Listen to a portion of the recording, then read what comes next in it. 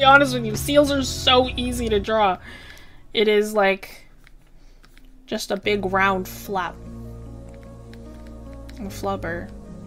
And then just like two fins. Like the thing is, is even if you know the like bones underneath, again, you're not gonna see them. Especially with the way that fit seals are. Like this entire section is filled in with blubber.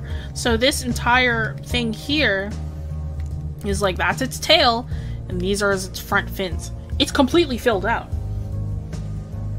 Somehow I managed to make them too much blob at times. Impossible.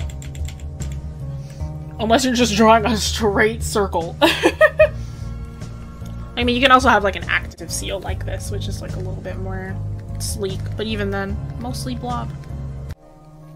Alright.